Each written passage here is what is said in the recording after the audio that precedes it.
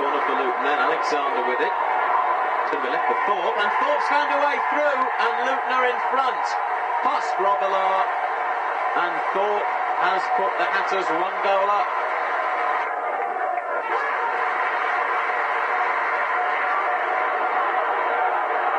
Now an opportunity for Argyle. Evans is after this one down the left-hand side. One-footed cross. Ronnie is there at the back post, and he heads Plymouth level.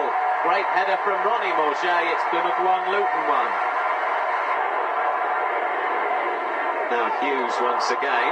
A little bit of hesitancy there, and this is Thorpe. Thorpe still, he's down, but he's managed to turn it in. And Tony Thorpe, with his second goal of the game, puts Luton back in front.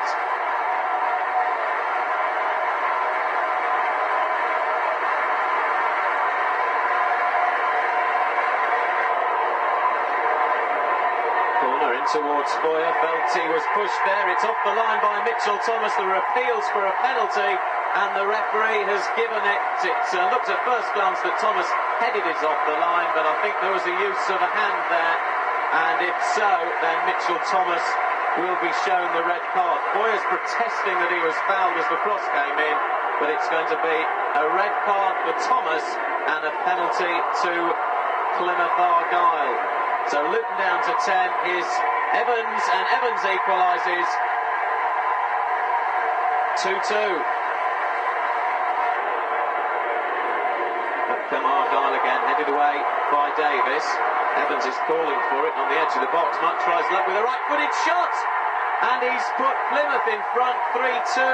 He scored a penalty moments ago, and now Mickey Evans has put Argyle 3-2 in front. So five minutes to go.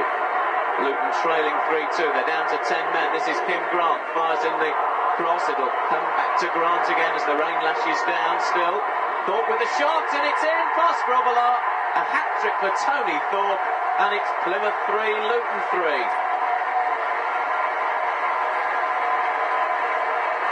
And Alexander with it.